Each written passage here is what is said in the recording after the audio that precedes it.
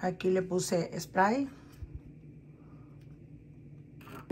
para poner los filetes de pescado. No es aceite, es spray.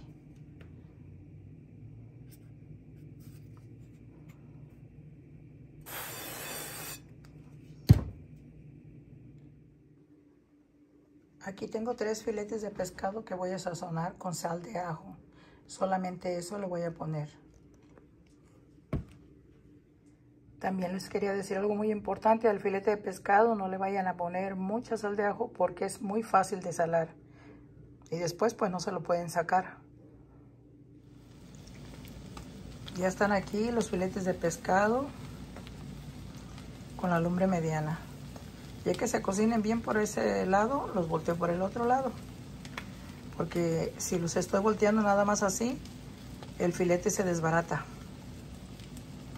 Tiene que cocinarse bien por un lado para poderlo voltear. Ok, con la lumbre mediana.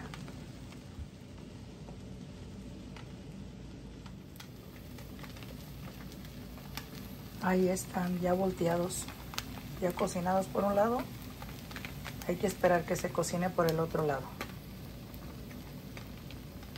Si ustedes lo quieren más dorado, lo pueden dejar más aquí, pero nada más se tiene que cocinar. Pero no se tiene que dorar mucho. Pero si a ustedes les gusta dorado, está bien, está perfecto. Eso es su gusto de ustedes. Recuerden que es con la lumbre mediana.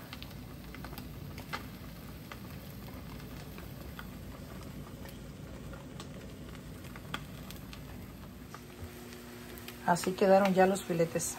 Vean. Perfectos. Listos para servirlos.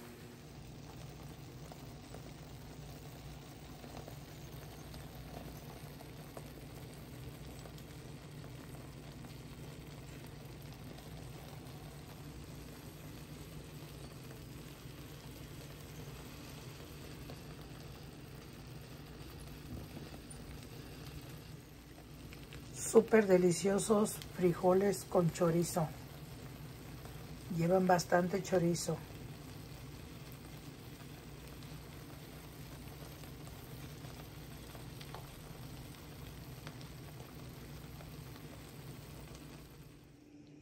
Así quedó el filete. Yo lo voy a acompañar con una ensalada de nopales que hice recién cortados y unos frijolitos guisados con chorizo. Estos frijoles tienen chorizo. Y pues así quedó el platillo, mi gente.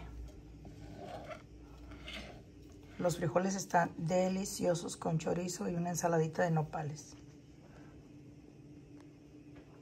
¿Gustan? Si están comiendo, cenando o desayunando, muy buen provecho.